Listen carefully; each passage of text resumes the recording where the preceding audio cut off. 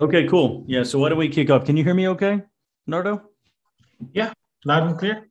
Great. Well, hey, Nardo, thanks for making time for me. There'll probably be people popping in slowly, but um, you know, it's been great to get to know you the last couple months and and uh, you know, really understand the sector focus that you're going after. It's a massive market size opportunity. So really excited about your investment thesis and um, your your background and also just your interest um, to, to really grow uh, the market size for this space by investing in it. So maybe you can tell us a little bit about your background, where you grew up, where you're from, and um, a little bit about your career and education, and then how you got into starting your own fund, focusing on quantum computing. Okay, yeah, sure. Thanks, Joel. Uh, glad to be here. Uh, so, background wise, uh, I grew up uh, uh, in the Philippines, actually born in the Philippines, but mm-hmm. um, lived in many different countries. So, lived in Vietnam, uh, lived in Papua New Guinea, lived mm-hmm. in Australia, lived here in the US. So, traveled quite a bit. Yeah. And education wise, I'm a computer science graduate uh, 25 plus years in the healthcare deep tech space. Uh, former yeah. head of innovation uh, for uh, Kaiser Permanente. Mm-hmm. And uh, you know, along the along that line, you know, I love my work at Kaiser so much that I created my own uh, healthcare innovation ecosystem, uh, a company mm-hmm. called Catalyze first. And the whole premise of Catalyze is really to work with investors, uh, technology companies, and corporations to bring them together for uh, some level of uh, you know transactions for their all for their success. Mm-hmm. Uh, and then, you know, since I dealt so much with, uh, you know, technology, technological innovation, you know, part of what I do is I did a lot of AI work, did a lot of six AI products. And so my natural curiosity in emerging technology uh, extended to quantum. So three years ago, I started looking into the quantum space, studying that, and basically said, okay, well, you know, I need to look at all the different signals within the industry, the quantum industry, and then uh, this year and last year, all the signals I was looking for uh, basically came to fruition. And I said, okay, it's time to start that fund. So I started the Qbits Ventures. And what was your thought process when you decided to start the fund? So you're working in uh, corporate, you know, and you know what, you know, what was going on in your head? What what was the trigger that made you realize that you should go ahead and start the fund? Yeah, I think the uh, one thing is uh, one is definitely the uh, AI, right? AI mm-hmm. was a, a big proponent of um, yeah, a big part of the decision, and then the amount of data that we have uh, in that that's being accumulated uh, within the healthcare setting, not just healthcare, I guess across industry. Mm-hmm. And then if you take a look at the the world we have right now, everything is getting way complex. the yeah. problems are more complex. We have a lot more data. We have a lot more systems. Um, they're all cloud versus internal. It's just very complex. And the only way we could uh, get ahead of that is, you know, you have to look at the a more exponential technology uh, called quantum technologies. Yeah. And tell me a little bit about um, the quantum ecosystem. So I think maybe for the audience, what would be really helpful, and you've gone through this with me before, but just unpacking the whole ecosystem of quantum and where you think it's heading. So what are the different, uh, you know, verticals that are great applications right now for quantum? Yeah, so uh, that's a great question, Joel. So let, us take a look at quantum. So a lot of people equate quantum technologies to just quantum computing, mm-hmm. which is actually, you know, whenever I uh, whenever I talk to people and okay, quantum, uh, you're into quantum technology, uh, quantum technologies. The first thing they ask is like, oh, when is when is quantum technology going to be real, right? So. Uh, so, but exactly, you know, that question really meant when is quantum computing going to be real? Uh, quantum technologies is a much broader subject, right? So there are uh, many different areas in quantum technologies that are, I consider, more shorter term as opposed to longer term, which quantum computing uh, could be.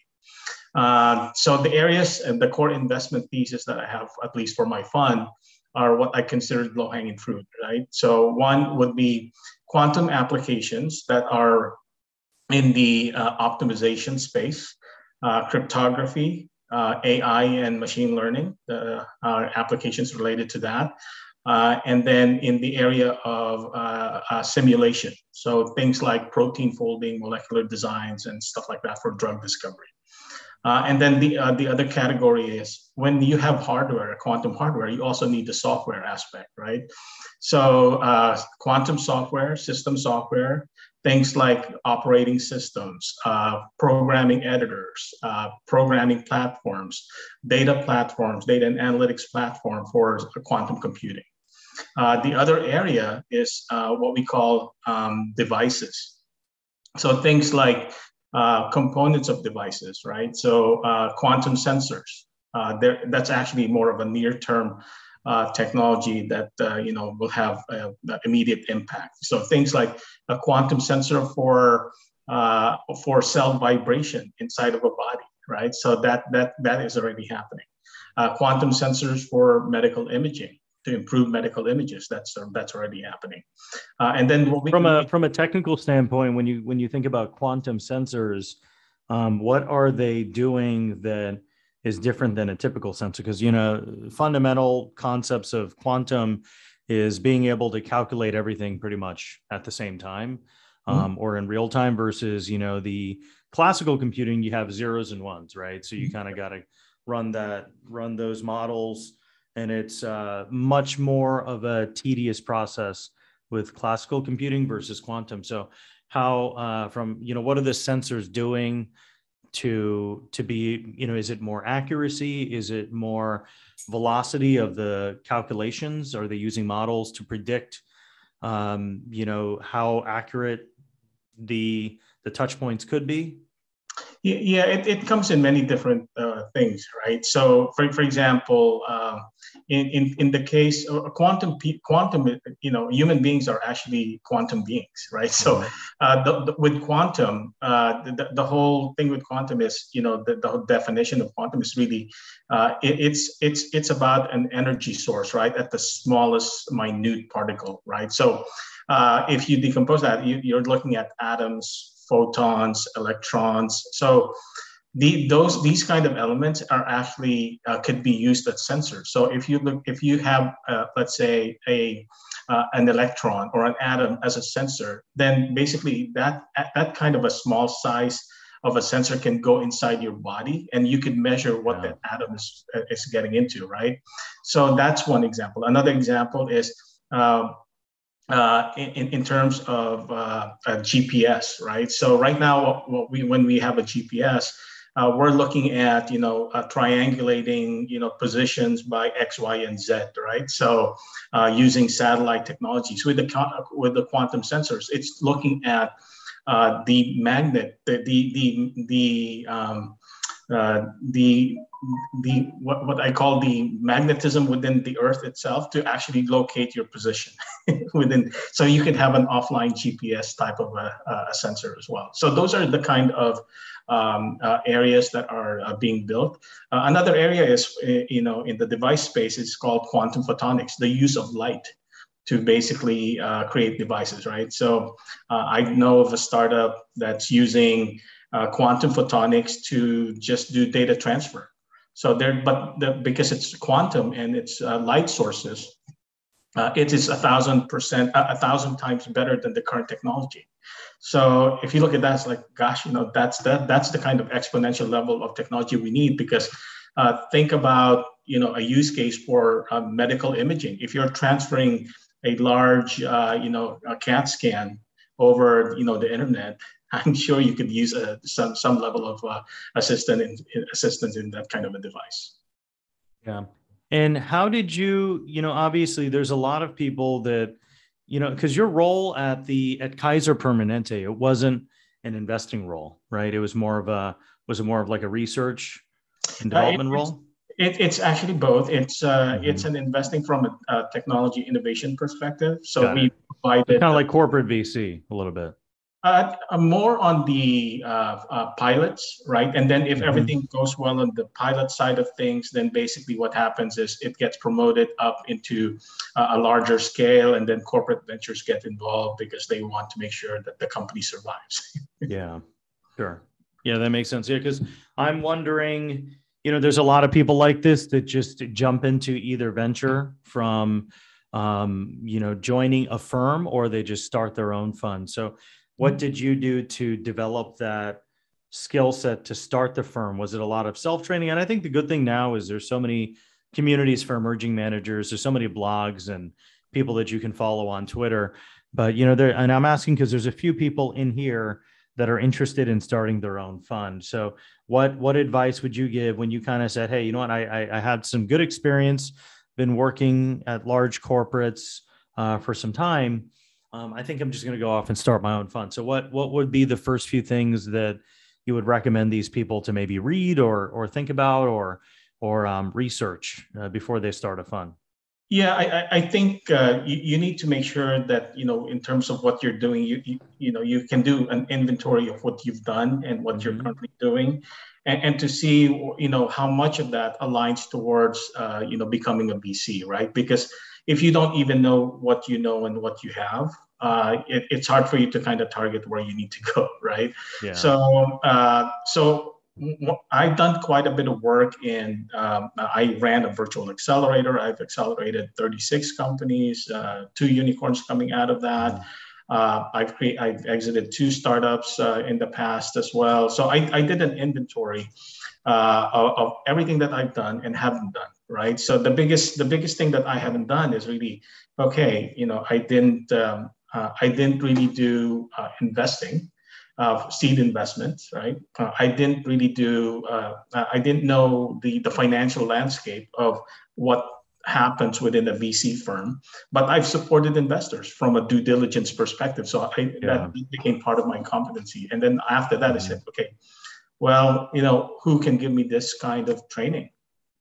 Mm-hmm. Right. So, uh, and, and then basically I got referred to uh, VC labs. Mm-hmm. And that's where yeah. I got the training. Sure. And then what are some ways that uh, people who are not in venture could build those skills? You know, if they don't get accepted into a program or or they don't um, you know develop those skills organically, uh, would you recommend them to possibly just try to actively source deals, possibly join an accelerator, start a company? I guess what are what are some of the pathways that you've seen? You know, because you went through couple of these accelerator programs. So what what were like the journeys of some of the other fund managers that started out? Yeah, I think uh, the, the journey definitely varied, right? So mm-hmm. one is you, you need to um, you, you need to take a look at uh, maybe advising startup mm-hmm. companies, right? So yeah. build your advisory uh, capability there because it's going to help you create value add as a fund, right? So so building that. Second is see if you can become uh, um, a seed investor, right? So, mm-hmm. or an angel investor, I mean. Yeah. So you can do some small uh, angel investment, direct investment in companies. Uh, that would be great, right? Uh, mm-hmm. The other is, uh, in order for you to build your track record, uh, a good way to do it is to partner with somebody who does SPVs right? Yeah. So uh, that that would be a good way. Um, so you could learn the ropes, and while you're learning the ropes, uh, you're actually you know you're you're actually be, you know acting like a VC because you're looking for LPs, uh, mm-hmm. you're um, you're sending out emails, you're going through the entire process of you know what typically a VC does, except for one one particular startup, right, or a company. Uh, you build your track record that way, create your markups, and then you know, and then you you step into okay, maybe it's time for me to do uh, uh, to do a full blown VC firm.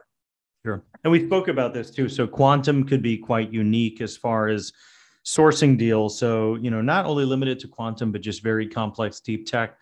How do you recommend people to source great opportunities? Um, is it academia? Is it other tier one funds? All of the above? I guess what's been working for you and what would you advise people to do if they're trying to uh, focus on a lot of these complex deep tech opportunities? Yeah, I, I, think it's it's definitely to to definitely be out there, right? So mm-hmm. one is uh, the one one of the big things that I did for my fund is uh, you know uh, quantum is such a very uh, such a complex space. Uh, I needed to make sure that I created my own community, right? So mm-hmm. one is uh, part of my fund, I have 21 quantum scientists and engineers uh, that's mm-hmm. helping me with due diligence, but they are also acting like scouts, right? So they're when they when they hear about a startup, they tell me about it. Uh, the other area is uh, I've also created uh, what we call acceleration partners. So I partnered with major uh, academia companies and you know service providers, uh, quantum foundries that can create prototypes, and all of these are basically good sources for startups because these startups are looking for these kind of services. So besides just the typical accelerator, you know, incubator, venture studio, uh, research organization, academia. You, you, a lot of people will basically source that way, right? But I think that the best for, for me, the the biggest uh, uh, the, the biggest and better source is not necessarily you know just looking at the list coming from you know an accelerator in their, in their list of cohort. Uh, if it's recommended to you, then you know that there's a good potential for that. Sure. And when you're sourcing and screening deals, what are some things that you look for? What's your process? Uh, and again, just thinking through how to um, educate the people in the room as far as you know, just new emerging fund managers. What are some of the criteria that you look for? And, and I think it'd be really inter- interesting to understand, obviously, the difference with with uh, quantum. I'm assuming most of these are like a typical deep tech startup where there's no revenue, right? So it's probably just more based on the science and the and the market size and the tech. Is that accurate, or if not, feel free to correct me if I'm wrong. Uh, for for the most part, it's accurate, uh, especially mm-hmm. in this space. But there are some key areas, uh, especially in the low hanging fruit. For example, in quantum photonics, uh, yeah. where things are uh, uh, there seems to be a lot more. quantum companies in that space that is closer mm-hmm. to a production level type scenario. So I've seen those kind of things. So you know the typical criteria I, I, I use is definitely the uh, definitely the team aspect of it mm-hmm. is very important. Uh, but I also look at the IP, right? Because the, the IP and the people behind the IP, mm-hmm. uh, and also the in terms of if it's academia, uh, how much exclusive rights do they have, right? So because um, one thing that you don't want to have happen is you know you, you you spin off there's a spin-off company that doesn't have exclusive rights on the ip and then it gets copied and then basically that startup yeah. is killed right so i do look at the exclusivity of the ip and the people coming out of academia as well uh, and then the the other part to it is you know I, I also wanted to see what makes them what makes them unique and differentiated uh, compared to the other, uh, uh, you know, even though it's a nascent area, uh, there's competitors as well. A, a, good example is in the quantum computing space, right? So there are quantum computers that are like superconducting, uh, you, you know, uh, qubits type quantum computer. There are trapped ion, ions using cryogenics and stuff like that. Uh, then comes along, here's a quantum computer that is room temperature that's using quantum photonics. So who would you rather bet on? The, the one that does the, uh, requires a big refrigerator to basically run that, that computer or the one, the one that doesn't require the refrigerator? And what's next after quantum? Is there another evolution after well, quantum, or I guess where do you think things are going to go? Is it going to be some type of cell-based computer or atom-based computer? I guess where you know well, where are we, we heading next? Well, quantum it, it's atom-based computing already, yeah. right? So sure. so it's atom, protons, neutrons, uh, electrons, and anything of that uh, of that uh, of that sort. And so what's going to happen is I can see uh, I can see there, there's also an emerging area called quantum biology. 呃，我还在上课。the, the, there's also an emerging area called quantum biology. So yeah. now think of that. It's like, okay, well, what can you do with that? So, mm-hmm. so think of like uh, uh, you having a, an embedded quantum chip that basically you know either enhances you and uh, and does things uh, you know for you. Uh, think of uh, uh, the the nirvana of an AI system because it's mm-hmm. using quantum exponential technology, right? So so think of like um, AGI, artificial general intelligence, because it, that could be a possibility because quantum technology, you know, when it comes to real fruition, is definitely a possibility. So two things, you know, how do you think it's going to impact or complement Neuralink? And then number two is crypto. Mm-hmm. Yeah, so you know, quantum from so crypto from a perspective of uh, definitely security uh, would would be a good one uh, because mm-hmm. quant It, it quantum, uh, the big one of the biggest benefit with quantum is in what we call random number generation. So our existing our existing classical computer actually doesn't generate random numbers. That's why mm-hmm. it, we could easily hack computers, right? Yeah. So with with the, with the quantum uh, crypt- cryptography here, you know, and when we're looking at quantum factorization, um, th- then basically this uh, this technology creates truly random numbers truly random, random numbers. So it's it's really hard to crack, or it's mm-hmm. almost close to impossible to crack. So we, we have to see you know when things happen like quantum to quantum type uh, type scenario uh, let's see let's see what happens there sure um, so Farouk, you had a question. You want to rattle off your question? Uh, sure. I think, uh, thanks, Nardo. Uh, so I was wondering about how these continued leaps in quantum computing will affect uh, crypto cryptography, because you know the the secured hashes uh, this talk for you know banking being in jeopardy because of you know the leaps in quantum computing and you know everything needs to be redone. Like what how do you see that landscape uh, yeah, yeah, so that that's a big area of interest of mine. You know, one of my earlier uh, portfolio companies is in the post-quantum cybersecurity space, uh, for, right?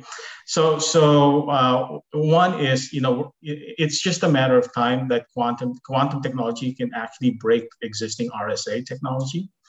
Uh, so I think we have to kind of watch out for that. So there's also this concept of steal now, decrypt later, right? So uh, a lot. So so that concept is more of like they're stealing our data. They can't decrypt it right now, but once they have uh, quantum um, quantum uh, cryptography and you know encryption decryption technology, they could actually crack that easily, right? Sure. So the other is you know you have to protect the entire system. It's not just about okay, protecting you know the, the data at rest and all of that stuff. You have to also protect. Uh, you also have to protect the you know the the, the networks. You have to protect the the communications and and the devices and all of that. Uh, similar to what we're doing with existing technology now, you know, with cybersecurity technology. But what what needs to happen is, you know, especially in crypto, the entire crypto system needs to also become quantum quantum resistant, uh, quantum protected. So just to follow up, so are you investing or looking into startups uh, in that uh, post quantum cybersecurity space as well? Yeah, I am. Okay. I am. Thanks. Uh, Michael, you've got a question here. Thank you, Nardo, for you know speaking with us. Um, it's a pleasure and an honor. Um, you've done a lot. Um, I just wanted to ask, what are some of the projects people are doing at Kaiser uh, involving AI and healthcare? And if they're using patient or de-identified patient data, how are they able to secure it so it's maybe not uh, attacked by ransomware or it's not able to get out that's somewhat challenging. Yeah, it, it, it is definitely challenging. So it's definitely not just a Kaiser issue, right? So the entire healthcare industry, if you took a look at the, uh, uh, there's a recent report related to uh, uh by industry in terms of data breaches. Healthcare is number one. so that is the number one spot you don't want to be in, right? So healthcare is definitely number one in data breaches, uh, which includes ransomware. So, you know, uh, the healthcare organization, what they uh, tend to do, you know, with these, uh, a lot of the healthcare organization, when, when it comes to AI, a lot of them are doing things like uh, predictive analytics, population care, and, and things like that, right? Uh, so that's primarily a lot of the stuff that they do. They're also doing things like uh, process automation with the aid of AI and RPA type system. There's a lot of that stuff happening as well. Um, so in terms of how they secure it, uh, the, the typical uh, the typical uh, encryption methodology that we have now. So at the very least, an AES 256-bit encryption, uh, but they can go up all the way up to FIPS, right? So the FIPS, which is the government standard, FIPS 140, 140, uh, 140 and, and stuff like that. But um, uh, from a government standpoint, in NIST, they're already looking at all the different post-quantum uh, cryptography type algorithms actually so they're starting to get into what standards uh, in the industry can actually adopt. And one thing that they found is they're interested more in post-quantum cryptography and that kind of uh, category of solution compared to what we call uh, quantum key distribution, uh, that space of it. So there are two areas in, and there are two approaches in terms of how you do security. One is QKD and the other is post-quantum. Uh, so the post-quantum one seems to be winning out. Thank you. Yeah. And, and I just have another question if that's okay. Um, I'm actually also in healthcare. Um, and I know trying to go through some of the unstructured data uh, can be challenging. And I wanted to ask if anyone is uh, using natural language processing to try to build models for, yeah. yeah. Yeah, it's it's it's quite popular. So uh, healthcare is one is an early adopter actually of NLP, right? Because of the whole di- uh, uh, dictation process. So doctor dictation, that's all NLP based uh, ever since in the very beginning.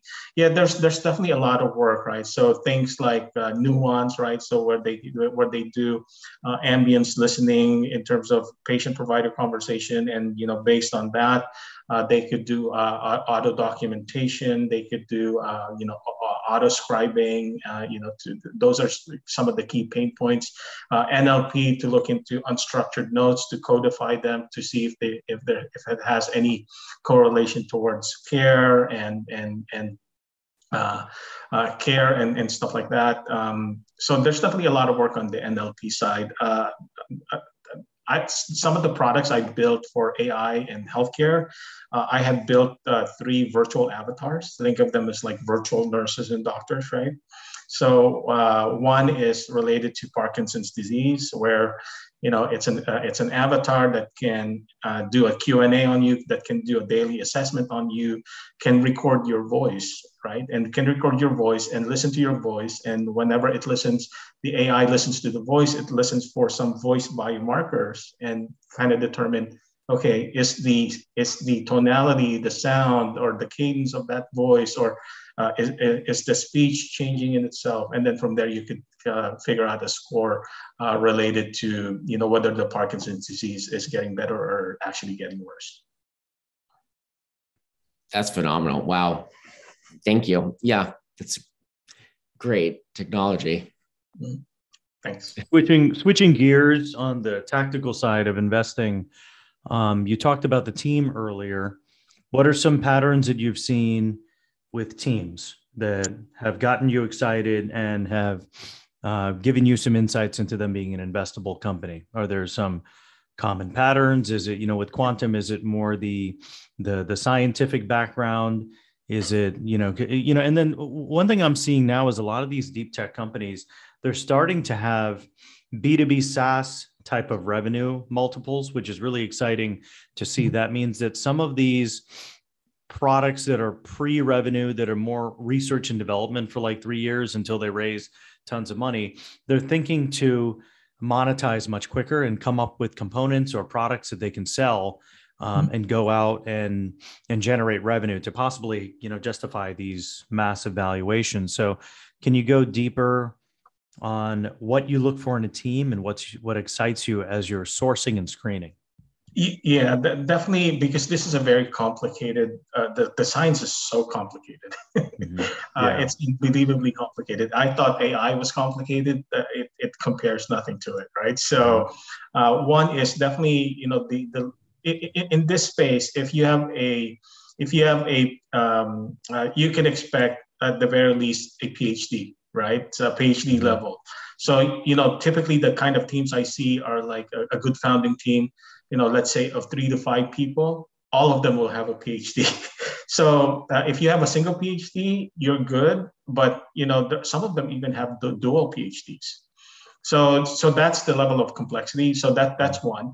Uh, the other pattern I saw are definitely if they are um, uh, professors inside of academia that is mm-hmm. coming out, uh, that's definitely a big plus because they, they've been around for a while and they also have access and potentially have exclusive rights to, to the IP because they have a lab in the university, right? So, and they could use a lot of university resources to basically um, uh, uh, continue a lot of their R&D uh, using uh, students. So I see quite a bit of that. Uh, the, the pattern that I see with these quantum companies are they're good at the science and the technology, but you know the typical issue with deep tech is you know how about the business side of things right so the business side of things the operations the finance the accounting and setting up the it infrastructure those are the things that they don't uh, they don't really like but must do so part of what i do with my fund is you know i i created a group of fractional executives to basically help them you know go through that process so they can concentrate on the things that they uh, that they are really good at and then uh, get some help and get some structure related to the things that they normally wouldn't uh, really feel comfortable until you know they, they they've gotten some guidance. So that's the approach that i took. So so from a team standpoint uh, uh, I, I, think the other one is like the number of uh, patents that they uh, and publications that they they write on these because you can see their thought leadership. So if they have a lot of uh, uh, things there, uh, it's great. If they have a lot of potential IP, they have a, a, list of you know all the things that they filed, all the things that they want to file. I'm always I'm always looking at that. And then second is and and then the other are definitely I'd like to see some level of proof right? So if somebody says, hey, you know, I'm creating this really fantastic technology. It has some level of quantum physics algorithm in there, and it's changing the entire world of energy, for example, right? Then I need to see, okay, well, you know, can you can let me see your process for validation. Let me see some proof of uh, whether that technology works. And once I've seen some level of uh, technology working, proof of technology, then I know the team in, in itself can really execute from that level. And I just need to surround them from a business perspective. What are some of the biggest challenges that you're seeing with quantum companies? I'm assuming it's I'm assuming it's access to be able to fundraise really quickly, but um, I'm not, you know, I love your insights on that. Yeah, so so so this is a, this is a hot area, right? So mm-hmm. the, and so a lot of deep tech funds actually want to invest in these areas, but have a hard time investing because they, they can't mm-hmm. do the, do the due diligence, right? So yeah, uh, it's hard to do diligence these companies without mm-hmm. the right kind of resources. So that that's one thing. Uh, I, I think the other is uh, the the level of valuations they start off with are very high. so the, the mm-hmm. stuff that I normally would see, you know, I'm doing pre-seed level, pre-seed level, pre-seed plus, right? Yeah. Uh, the, normally I would see, you know, the kind of valuation at the level that I'm doing, I normally would see it in seed, but it's come down to pre-seed. Okay. That's so, a little better than I thought because you know when you think about like space companies that are seed mm-hmm. or pre-seed, those are like those numbers are like series F type evaluations. So I would have thought it would have been the same thing with quantum. Quantum computers, yes. So mm-hmm. quantum computers, yes, but uh, keep in mind there are, you know, this is an entire the the technology sector includes, you know, if you take think of like the front, you know, from front end to back end, right? So you mm-hmm. have the software pieces, the the uh, the system utility pieces, the embedded software pieces, the the hardware pieces, right? The components pieces. So there's a whole bunch of them, and each one of yeah. them uh, uh, could, you know, uh, can actually become its own startup, and those have different valuations as well. Yeah, no, that's interesting. Um, switching gears to your emerging manager journey, can you share a couple learnings that you've uh, gained in the last because you've been at this for about a year yeah. I'm thinking a couple of years yeah. So so what are some uh, big learnings that stand out in the last year maybe from uh, building the thesis to to you know building a pipeline? Um, you know what are some takeaways that we can take back with us yeah i i, I think uh, one thing this the, the vc world I, I would say is very uh, it's definitely very relationship driven right? So mm-hmm. you don't you don't get better at this unless your relationship is, are really good. So keep, keep that in mind. So um, the biggest thing for me is relationship. Make sure that you're authentic about this stuff right? Mm-hmm. so you're authentic you, you, you truly care uh, about what you're doing. And the other is uh, you need to be helpful right so to me you know the, the, whole thing about vcs is like uh, you're not the only if you look at a startup, they, they're asking for a lot of money, right? Yeah.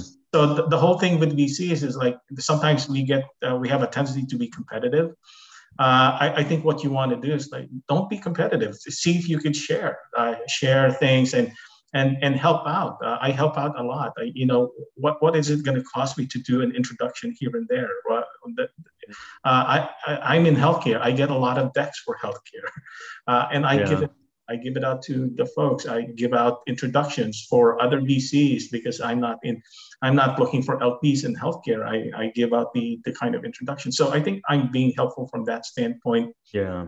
Sharing deals, uh, relationship, and make sure that you're uh, definitely authentic and you're doing that doing this for the right reason, not not because you know you want to be you know uh, on top of the stage and you know, sharing the limelight there and uh, and because hey i'm a vc that, that's not the point. The point is you know uh, hopefully you use the vehicle uh, that's given to you to uh, make some uh, impact in humanity and the, the world. Yeah. No that's uh that's really good advice. I think that's that's super true. It's super relationship basis. It's a CRM business, so you're, uh, you know, trying to add value to your. You have multiple customers, right? You've got your LPs, you got other VCs that you're co-investing with, you've got uh, founders that you're supporting as well. Um, you know, with the with the technology being so complex, um, I doubt you're going to roll up your sleeves and help these people build the technology. So what what are some ways that we could add value to these very complex deep tech startups and and what are you seeing that they need the most help with? Is it product market fit? Is it their deck? Is it fundraising? Is it all of the above? I guess what, you know, with with the startups that you're working with, what do they need help with and what are they struggling with the most? Yeah, yeah I think what they normally struggle with is definitely the business mindset right? Because they, you know the majority of these folks are coming from academia, yeah, research institution, and they're good at what they do, right? So, uh, so p- people even asked me and said, Nardo, you know, can you co-found our company with us? Yeah. You do the business aspect of it, and we do the technology aspect of it. I said, uh, I, am not sure whether I can do that from a VC yeah. standpoint, uh, but there is a lot of uh, I, I, get a lot of requests like that, mm-hmm. right? So we, you do the business side, we do this piece of it. So I, I think there is there's definitely an opportunity for something like that. Uh, I don't know what that looks like yet. Uh, is that mm-hmm. really an accelerator? Uh, it doesn't seem like so because accelerators are, you know, pretty much like program cohort based and you know exp- uh, expires after a certain number of months and so on. They they want some some uh, business entity to work with them uh, throughout the, the life of their company.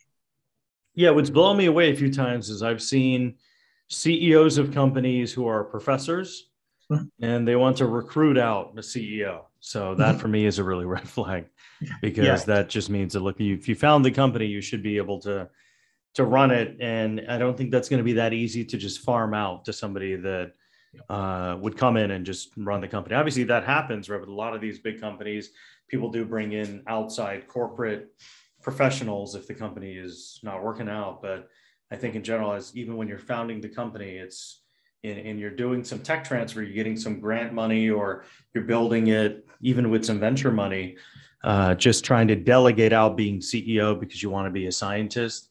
Sometimes mm-hmm. that's uh, that's a huge red flag. I would say not even sometimes. I'd say all the time. Yeah, and and that is you know definitely causing a, a bit of a difficulty, right? Mm-hmm. So you know it, it's along the lines because these are you know really embedded academics. You know what do you do? They're professors coming out, for example, right? So they're yeah you know, chief science officer in a large research institution. Uh, so they, that's the core area that they're useful in. But the business side of it is uh, definitely uh, an area that needs to get improved. And that's why you know the whole fractional executive stuff uh, came mm-hmm. about, trying to address some of these gaps. Yeah, and w- what do you think the exits will be, or what types of exits do you think they will be? for and obviously that's a loaded question and you know nobody can predict the future but you know do you see them being similar to to space companies uh, cloud computing companies uh, you know what are what would be the closest comp to quantum computing uh, I, I, would say they're probably more similar towards more like the space tech type. You know, they, they, these are large. You know, for example, we have three uh, that I could name of uh, three quantum computers that basically did uh, exits. Uh, uh, one uh, did a uh, an, a cybersecurity company uh, did an exit. Uh, worth, it's a cybersecurity company worth uh, a couple of billion of dollars. Uh, I think the other is a quantum computer company uh, worth 1.2 billion doing a SPAC. And so a company worth 1.2 billion and the quantum computer is still in research, right? so yeah. it, it, hasn't really made it into production. They're pre-revenue at 1.2 billion mm-hmm. uh, uh, from from a, a IPO standpoint. Uh, and, and, then uh, there's another quantum computer that's uh, worth three more than three billion, and uh, you know they they've been pretty stealth about you know what they have. so so figured that one out. yeah. And what area out of all of the verticals that you mentioned is the most exciting to you? Is it the sensors? Is it more of the picks and, picks and shovels? I guess is there is there one subset that you think is going to provide bigger opportunities and outsized returns? Yeah, I, so so I, I think the, the the, the areas I like are basically the uh, uh, what I call transitional tech or bridge tech, uh, Joel, because uh, in order for us to get to towards the realization of quantum, we, we need to make sure that we can bridge whatever we have now with that kind of technology, right? So yeah. it's not all of a sudden, you know, you sleep today, the following day you wake up and say, oh, quantum computers here, quantum nirvana is here. It, it doesn't happen that way, right? Nor, normally it's like a, a lengthy transition from an industry standpoint. Uh, so what you want to do is like, uh, who are the company that can actually you know transit not only bridge and transition you towards classical and uh, and quantum uh, but can not only walk you through that but also become a pure quantum company as that journey comes about right? So i think those kind of companies that are able to do that transitional bridging aspect of things uh, as uh, you know as they grow their their uh, their startup I, I think those would be good winners. How many years till you think quantum will be mainstream how many years do you think they will be personal computers and what will they look like? Oh, wow. So, you know, believe it or not, I did talk to one startup that's already thinking about doing a quantum desktop. yeah. So, but um, will it be a desktop or will it be it, implanted it in, will it be implanted in Neuralink where you can kind of tap the Neuralink and see a screen? I guess, you know, where, where do you think it could head that could it, be maybe out of this world? Yeah, it will be all of that, right? So yeah. th- there's there's definitely a lot of work uh, happening with uh, putting everything down to quantum chip level. So sim- mm-hmm. similar to like an AI chip, right? Uh, it, there's there's a lot of work there, similar to you know the sensors that we have now right? So it's it's going to come to that uh, it's going to get embedded. So you know we're going to even become more cyborg uh, than, than than we want. Um, yeah. so it, it's really all of that joel. It, it's it's going to come to it, it's just a matter of you know uh, now you have technology that's more exponential. What can it do to you? What can yeah. it do for us? Mm-hmm. yeah that's really helpful. Uh, Farouk, it looks like you had a question yeah, I mean, I'm really learning a lot here. Um, and I was sort of thinking, hey, I, I had seen AWS market a quantum computing service. Yeah. And then I just Googled this, and you know, this is a copy paste uh, yeah. one liner from their platform. So, what's the story here? Like, because they talk about, I was sort of reading it more in, in depth here. So, they talk about simulation for different types of quantum computers. So, do they actually have something, or this is sort of, you know, some sort of a simulation test to test no, out? So yeah, good good question there. So um, so Amazon Braket, what they do is they partner with uh, different quantum hardware, right? So they offer that as quantum computing as a service, and so so there are there are things that you can run uh, within the quantum computer itself if you're able to do quantum uh, programming and stuff like that, right? So you're you're able to do that. Uh, but there's also things that you could do you, where what we call quantum inspired applications. So basically, these are quantum algorithms that you run in, in a classical computing simulation software. okay, so uh, so that is what we call quantum inspired because the know, algorithm itself is quantum right? Quantum algorithm. The mode it, in which it runs, it runs in a classical computer, a high performance classical computer uh, inside of a simulation software.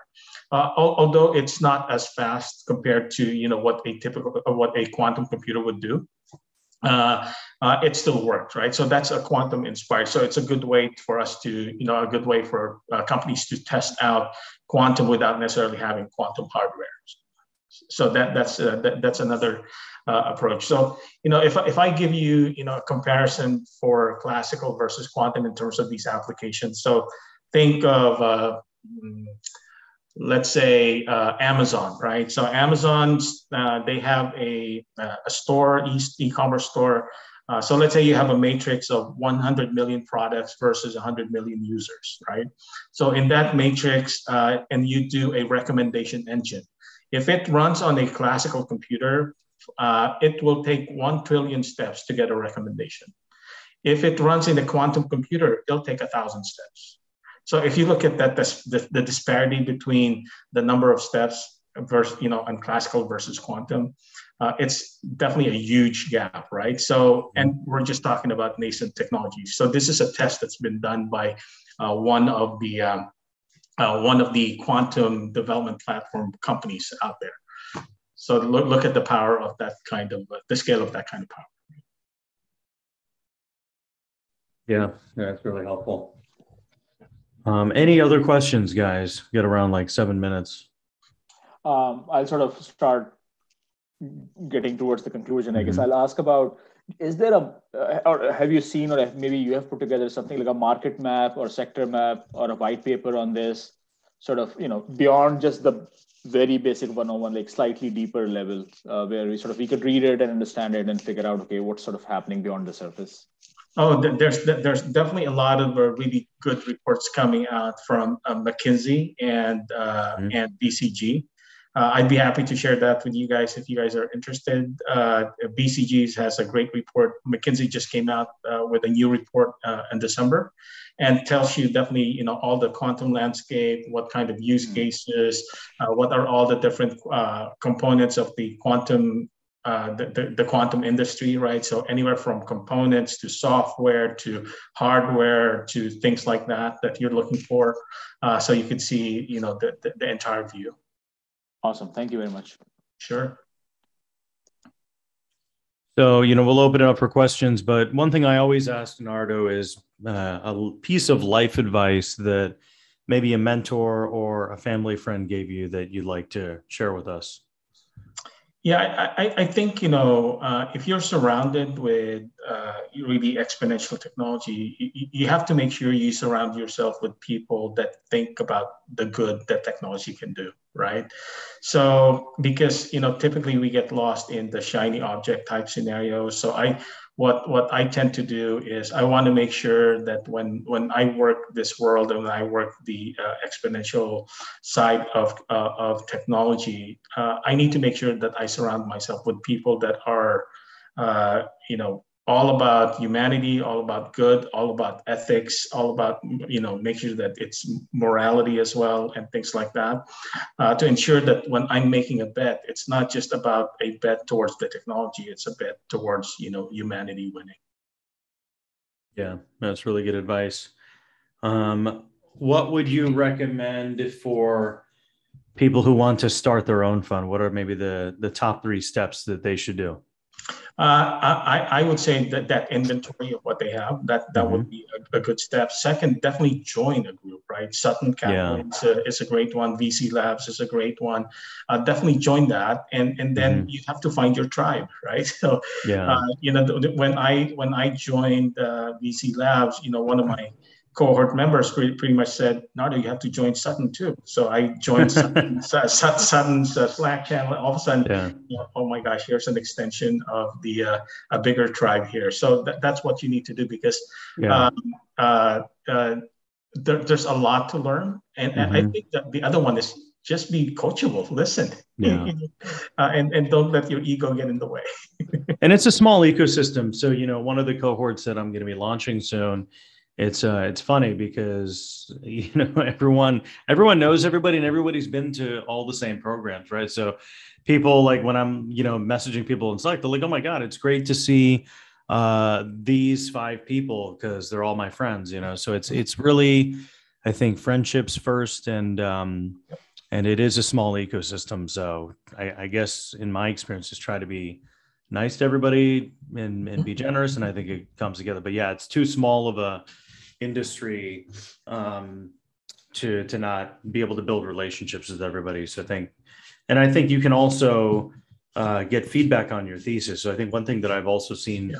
is uh, peer reviewing. So a lot of times, if you're if you're thinking about something, it's very similar to software, right? So you want to start a fund. This is minimum. You know, they I've heard the term minimum viable fund, right? You have you're thinking of this concept of a uh, you know ten million dollar healthcare fund, a digital health uh, fund. You know, bounce that off of five or six people and get feedback, maybe even non VCs mm-hmm. um, and see what they say. And I think just and then from there you get a bunch of feedback, and then you and then you iterate off of that. So it's um so it's definitely an iterative process. And then I would say.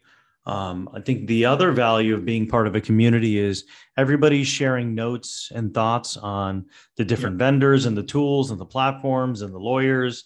Um, So that collective uh, thought sharing, uh, knowledge sharing is really helpful too. That's what I would say you know one of the things i have is uh, you know create create so you know when when you start working you know with other funds and stuff uh, mm-hmm. create a support group right so i have a weekly yeah. support group uh, of all different types of vcs because mm-hmm. all of us are you know in different stages right and yeah. what you do is you you want to kind of learn from each other and share and and all of that stuff uh, and and see how you can help out and uh, and, and, don't be and don't be shy in sharing. You, share what you know, share what you have, search, share what you found out. Uh, that that's the only way you grow. And uh, the more you do that, the more it comes back to you. Yeah, no, that's that's really helpful advice. Um, I'll just really give one more opening here. If anybody else wants to ask any questions, feel free to uh, to shout it out. Any final questions, guys? Okay. All right. Well, Nardo, thanks so much for your time. Really appreciate you coming out. And um, it was uh, really great learning, uh, going deep on quantum. Uh, so thanks for sharing all the uh, the uh, the thought leadership around that. Okay. Thanks, Joe. Thanks for all having right. me.